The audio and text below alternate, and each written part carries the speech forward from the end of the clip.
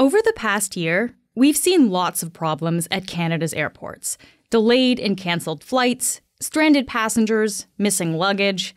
Remember all that chaos last year? So normally this is I've been traveling to uh, Toronto for like more than 15 20 years. This is the longest I have to wait and this is the busiest I've ever seen.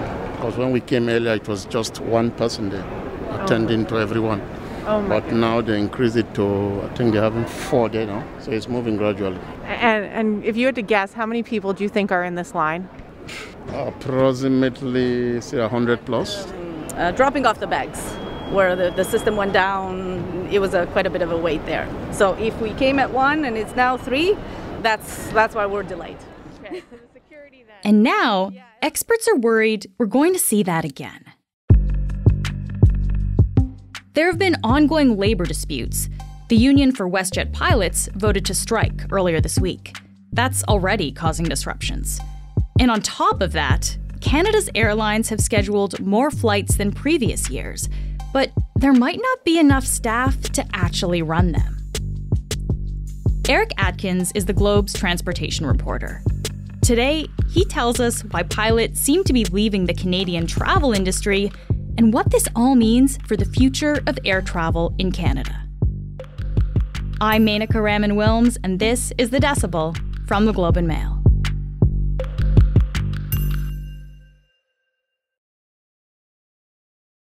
Eric, thank you for joining me. Nice to be here. So, we're talking to you on Thursday ahead of this impending strike of WestJet and Swoop pilots. Uh, we don't know what's going to happen yet, but what kind of impacts are we seeing already from this potential strike? On Thursday morning, the disruptions have already begun. Um, last I checked, WestJet had canceled 103 flights across its network, affecting you know 16,000 ish passengers. Uh, and the reason they're canceling today, ahead of what could be a strike or a lockout on Friday, is because they want to be able to control their uh, fleet. The union wants its pilots uh, not stranded. The, the We- WestJet does not want its planes stranded in Cuba or Mexico. They want to park the planes at their home bases, you know, major airports in Canada. And just to really explain that, like, why is it bad to have a plane stuck in Cuba if, if the pilots go on strike? Well, there's no way to get it home if the, your pilot is on strike. Uh, you're going to incur parking fees, which are expensive. Um, you may incur maintenance fees because planes cannot just simply sit there. They have to be run every day. They have to be looked after. Okay, so it, this sounds like this is a this is an issue with the union for the pilots of these planes. What, what what's actually at, at stake here? Like, what issues are the pilots raising? Well, it's impossible to know everything uh, they're asking for because simply neither side is saying. But the pilots have been clear they want a North American grade contract. Uh, pilots in the U.S. are paid a lot more than pilots in Canada. Um, as a result, WestJet and uh, possibly other airlines are losing pilots. Uh, Hundreds of pilots left WestJet last year. The union says about 100 have left so far this year for jobs elsewhere, uh, most likely in the United States, where they can make about 40% more. Huh. And when you say uh, losing hundreds of pilots a year, like, uh, can you put that in context? Is is that a lot of people? Yes, because WestJet only has, well, only, they have about 80, 1,850 pilots at its mainline WestJet and its Swoop discount brand. So, yeah, it's substantial. Okay. And so you said that pilots are, are leaving because they can make more with, with other carriers. Can you can you explain why? Like, why would a U.S. airline pay them so much more than than WestJet? Uh, simply, there's a pilot shortage. Uh, so, Delta in March, its pilots approved uh, a 34% raise over the four year life of their new contract. Uh, American Airlines, because they don't want to lose pilots to its rival Delta, quickly came out and said, Hey, don't worry, pilots, we're going to give you the same raise. There are no secrets among pilots. They go all, all on the same chat rooms. They find out what the working conditions are like. They find out who's paying what. And it's a highly mobile workforce by definition. They're quite accustomed to going to other countries, you know, several times a day. But it's a highly mobile workforce, and they're easily uh, easily poachable by rivals. Uh, although you know the pilot shortage, it's a North American wide and a global uh, problem that uh, stemmed from the pandemic when a lot of pilots were laid off, sent home for the better part of two or three years. Some of them simply retired, others found new jobs. And those who entered the trade in Canada, it's a slow process because Transport Canada slowed down its licensing processes. So to, to become a pilot took a lot longer, especially in Canada. Okay. So it sounds like there's a, the the results that we're seeing now. There's a little bit that we can tie back to the pandemic and all the disruption we saw there. And of course, since the pandemic, we have seen a lot of travel disruption. We've we've talked about this before on the show with you, Eric. Uh, but the airlines have been saying that you know what, this summer it's going to be different than the past year. They're more prepared. Is that true, Eric? Is what have you been hearing on that front? It's hard to know. Um, as you know, summer travel restarted last summer, uh, pent up demand, and it simply overwhelmed uh, the airports and the airlines. There weren't enough staff to serve everybody because, as I said earlier, most people got laid off. A lot of them found new jobs, and the ones that came back to work, some of them were inexperienced, or the you know the government agencies that screen passengers for security and baggage were understaffed. Then at Christmas, there were two major snowstorms that affected most of Canada, and we saw a repeat only for different reasons. Uh, you know, tons of canceled flights. Lots of people had their Christmas plans disrupted, canceled. They were stranded. So this time, the summer, uh, the airlines and the airports and the government agencies that serve those, they say it'll be different. Who knows? We'll see. Uh, We do know there are a lot of inexperienced staff working in a lot of these jobs. I'm talking about baggage handling, uh, screening passengers. So although they may have the same numbers, you know, the level of expertise is not there. And they remain vulnerable to, to simply jumping ship. Baggage handling is not a highly paid job, nor are the jobs of screening passengers, people, and luggage. Uh, they're vulnerable to being poached by, uh, you know, other industries outside the aviation business or simply the one that runs across the hall. Yeah. And I know that that airlines have also been saying they've increased the number of flights this year compared to, to last year so they can get people to where they want to go. Can, can you I guess walk me through those numbers, Eric? What's what's going on there? Well, the airlines are trying to catch up and make up for lost time uh, after being largely shut down for two, two and a half years in the pandemic. In July alone, compared to the same month last year, Air Canada earlier uh, posted a schedule that was 7% bigger. WestJet was slightly bigger with 4%, but 9% more seats, um, so bigger planes. Porter, uh, which has a new fleet of Embraer planes, a much bigger jet, uh, was offering 14% more flights. And Flair, notably, is offering a 30% increase in flights and seats compared to last year.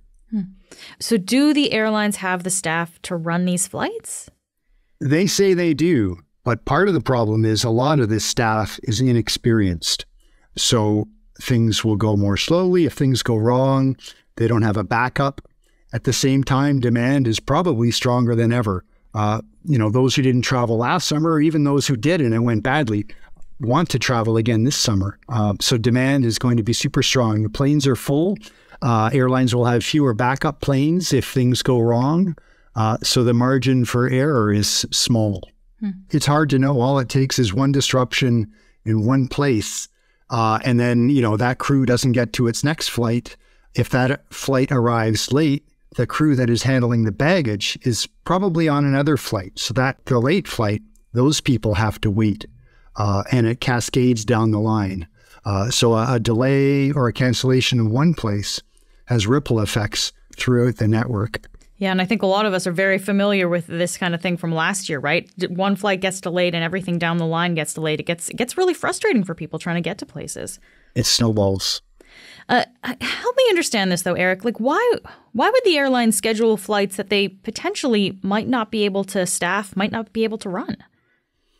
Well, they want to see what demand is, and the only way to see what demand is in their mind is to put everything on on the shelf, put it up for sale, see who buys it, and then revisit. What they don't want to do is be too conservative and not offer enough flights uh, to make their summer profitable. And that's allowed? Can they book people even if they might not be able to operate those flights? I've checked with the regulators a few times lately, and there are no laws against either overbooking a flight, selling more seats than exists on a certain plane, or selling seats on, flights and or planes that uh, effectively don't exist. There are rules about canceling that flight, but you're you're certainly allowed to overbook, oversell uh, your schedule. Okay, so what happens to a passenger? So let's say they I booked a ticket on a flight, they can't operate that flight. What what happens to my like what are my options at that point? If they cancel on short notice within a couple days, they're required to give you a refund or rebook you on one of their flights or a competitor's flight. If that flight has an international leg, there are also requirements with regard to how they treat you, and that could involve compensation, uh, lodging, food. Some of those rules apply in Canada as well, but it depends on the reason for the cancellation, whether or not it is within the airline's control or outside the airline's control. Hmm. And if it's not short notice, like if it's a couple weeks out, what, is there anything different that happens? They can just reschedule your flight. So either same day or next day or something. Like there's no guidelines around that. Yes, the the, the rules are much more lax if they do it two weeks ahead of time. We'll be back in a minute.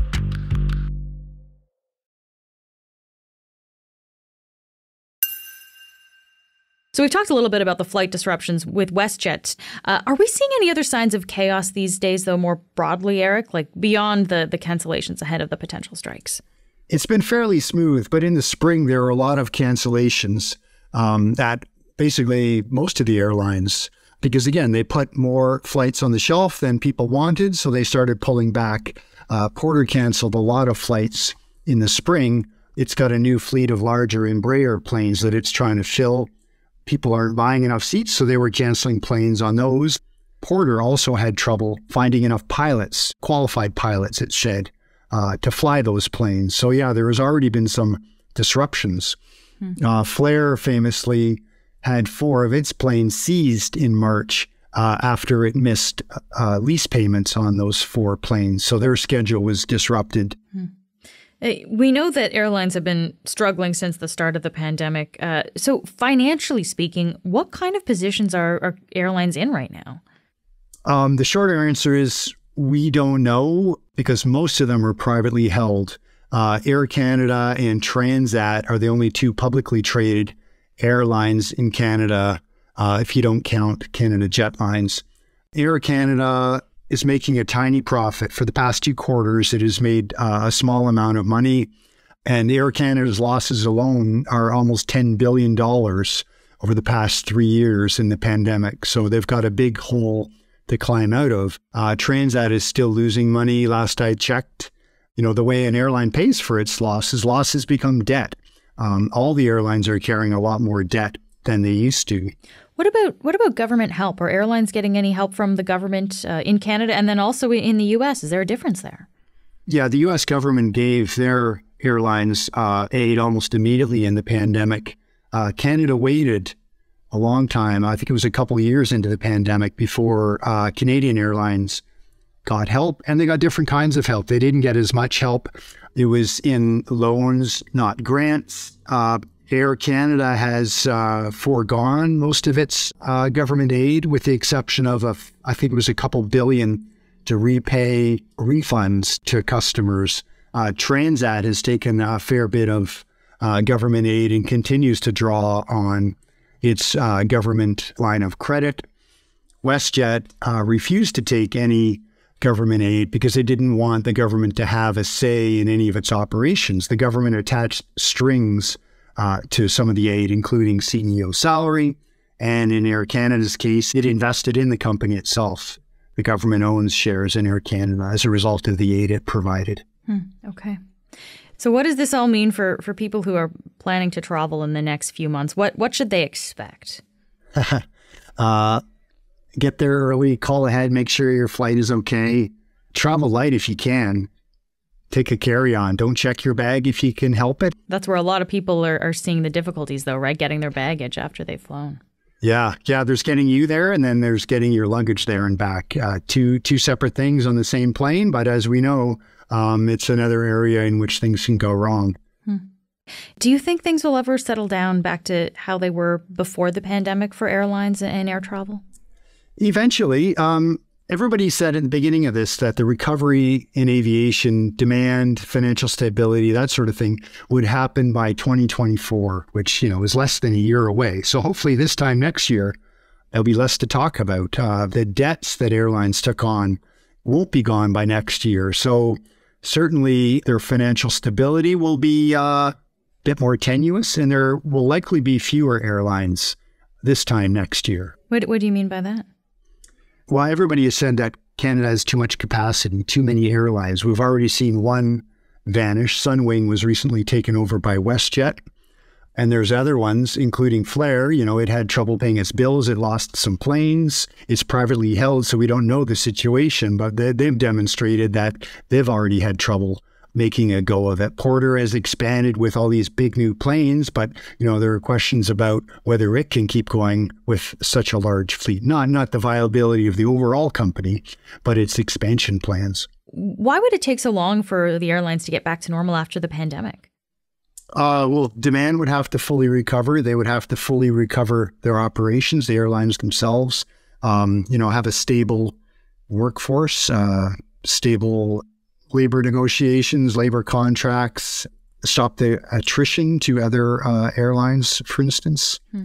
And then they've got to, uh, you know, get on top of their debts. They're all paying more in interest and in loan payments.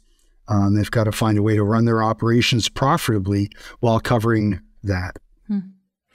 Eric, I, I, wonder. I mean, you're you're the transportation reporter. If if airlines become kind of increasingly expensive and unreliable, and we keep seeing this kind of chaos, do you think people are are or are people starting to actually look at other options like taking the train instead of flying, if they can?